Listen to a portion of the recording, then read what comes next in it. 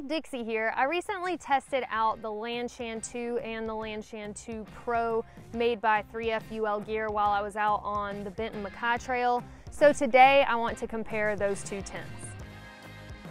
The first obvious difference between the regular Lanshan 2 and the Pro is the Lanshan 2 is a double walled tent where the Lanshan 2 Pro is a single walled tent. I know y'all have heard me say before that a double walled tent will do better in situations where you have condensation in the tent. If your quilt or sleeping bag brushes up against the wall of the tent, it's not gonna get damp from all the gathered condensation because that condensation will be collecting on the outer wall. Both tents set up using trekking poles, so you're gonna need a set of trekking poles regardless of which option you go with if you pick one of these tents. And they both have vestibules and a door on either side of the tent, which in my opinion is a must for a two person tent if you're gonna actually use it for two people. But even going as a solo hiker, I prefer a two person tent because it gives me more room for my gear and I appreciate having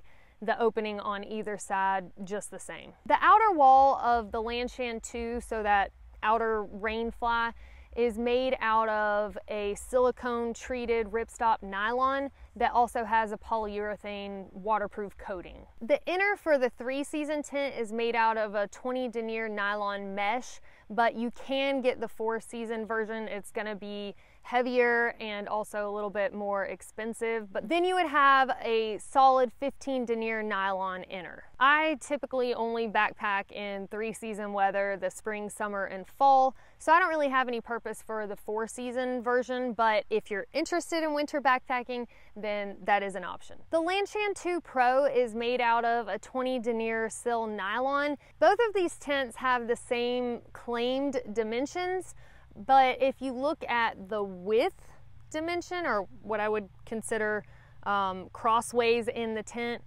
those dimensions don't really add up. They listed as 370 centimeters. I got out my tape measure and I measured the dimensions of the bathtub floor. Those seemed reasonable with what they had listed. It's kind of hard alone to measure the whole width from tip of vestibule to tip of vestibule, but it really seemed closer to maybe 270 centimeters than the 370 centimeters they had listed. So I think that's a typo they had on the original diagram and then they just posted it to the Lanshan 2 Pro because it has the same dimensions. That's my guess anyway. So the Lanshan 2, as I mentioned before, because it's a double wall tent, it will help with condensation.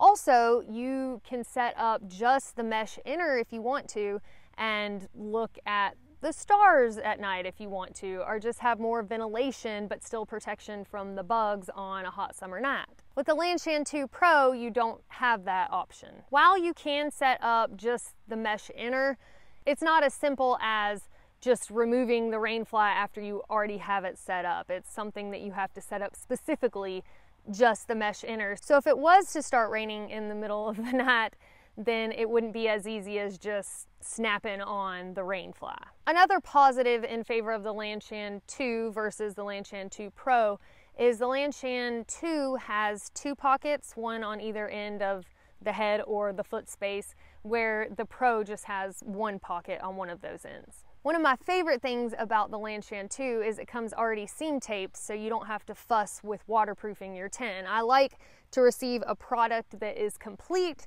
and is not something that I have to fool with. The Lanshan 2 Pro, you have to either seam seal it yourself or you have to pay for that extra service. And unfortunately, this kind of gave me a sore spot with the Lanshan 2 Pro because while I did seam seal it before I left, there was a seam around the bottom of the tent that I just didn't think about because it was at the bottom, but it connects to the mesh area around the bathtub floor.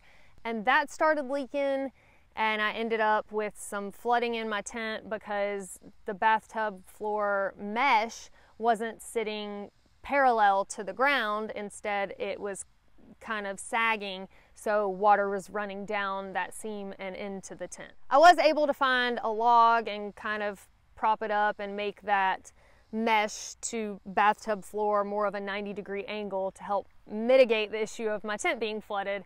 And that did help a lot. So if I was gonna go with the Lanshan 2 Pro, then I would probably do a little bit of surgery and add some sort of bungee cinching thing to where I could kind of pull that bathtub floor up to the wall of the tent just to help with making sure the condensation runs down into that mesh and out onto the ground instead of into my tent. If I had known that there was an option to have 3FUL gear seam seal the Lanshan 2 Pro for me, then I definitely would have paid the extra charge for that. It was strange because it wasn't listed as an option when I was purchasing the Lanshan 2 Pro off their website. It wasn't like on that page as a, a drop down menu selection. It's actually listed in their store as an item, so you have to purchase the two items together and then I guess they know to seam seal it, but I wasn't aware of that. I just thought they didn't offer that service and I did it myself. And yes, regardless of whether I seam sealed it or they seam sealed it, the best practice is to test it before you go and then I wouldn't have had this problem in the field. But time was of the essence. It was a last minute thing and that didn't happen. But it was warm weather, so I wasn't risking too much and I didn't die. One thing that I didn't love about the Lanshan 2 is it was kind of droopy on the inside. The mesh just kind of dangled down and would touch my head and it's not the end of the world, but that's just kind of aggravating when you're sitting up in the tent something's constantly kind of tickling your hair. One thing I did to kind of help with that is I lengthened my trekking poles so it sat a little bit higher up and kind of pulled that mesh up and off of me. I also noticed that the Lanshan 2 was more fussy to set up than the Lanshan 2 Pro and I think that that's mainly because with the 2 Pro you're just staking out the tent wall directly. With the regular 2 you're staking out the bathtub floor and then there are also little loops that you hook to the same stakes to stake out the outer wall. So you've got two loops per stake in each of the four corners and so that just makes things a little wonkier and it requires a little bit more adjusting and fine tuning. And it's not a big deal if you don't mind spending just a little bit more time with your setup, but when I get to camp, something that's just as simple as it can be after a long day of hiking, especially coming from the through hiker mindset, then you know, the 2 Pro is a little bit more straightforward to set up. While I think both of these tents are great starter tents or even great tents for people who have more experience that are looking for a new tent, don't want to spend an arm and a leg, I do have a couple of complaints about both of them, like the same issue with either one. First being the way that the doors are set up. If you're going as a solo hiker, it's not that big of a deal because if you put the tent out, get in the tent, and realize, oh, well, I meant for my head to be here, but actually it's sloped up this way, so I'm going to make this side where my head goes. The doors are arranged to where you could make either of them work for you. But if you're going to use it as a two person tent and you're both sleeping with your heads in the same direction, somebody's to have the inconvenient door where you kind of have to really reach to unzip it. And if you're trying to reach out into the vestibule to do something with your gear or cook if it's raining, then it's just going to be more of an awkward reach for you. And somebody said, well, a lot of people sleep two people in a tent and don't put their heads in the same direction. Like they'll have one person's feet and the other person's face or whatever. So that would work fine for them. And yeah, that would work if you don't kick too much in your sleep and you don't kick the other person in the face, but also that's only going to work if you've got like perfectly flat real estate. If there's any slope to the ground, then somebody's going to be sleeping with blood running to their head all night long. So, in my opinion, it just seems to work out better if both people sleep with their heads in the same direction. So, the doors don't work out so well if it functions as a two person tent. Again, as a one person, not a big deal. And also, something that I would definitely change on either of these tents is the little ram's head hook that you hook the vestibule doors to, I would get rid of that thing and get a replacement that's something like the hooks that you find on the Z-Packs tents. Those are just much more straightforward and they don't do a twisty thing like the ones on these Lanshan tents. They were just kind of a pain in the butt to hook onto and just something that's more tedious in my opinion than it has to be. So now let's get down to the meat and taters part of the comparison and that's with the price and the weight. The Lanshan 2 weighs 36.95 ounces and the Lanshan 2 Pro weighs 33.4 ounces. So that's a weight difference of 3.55 ounces. I bought the Lanshan 2 on Amazon, so it had free shipping and it cost me $119.99. And I checked earlier today, it's still listed at $119.99 on Amazon. The Lanshan 2 Pro cost me $157 and then $23 for the cheapest shipping, so that totaled out to $180. Today, the Lanshan 2 Pro is listed as $190 with free shipping included on 3FUL Gear's website, so the price has gone up overall $10. You can also get it on Amazon with free shipping for $190. But if you're gonna get the seam sealing service, then I would assume it would be best to go through 3FUL Gear's website. I didn't see an offer for seam sealing through Amazon. Something to note if you're gonna buy one of these tents on Amazon, if you tap in the 3F UL Gear Lanshan 2 or Lanshan 2 Pro, it may pop up under a different manufacturer or seller's name. For example, the Lanshan 2 that I purchased was listed as a Kiki Live ultralight tent, three season backpacking tent, etc.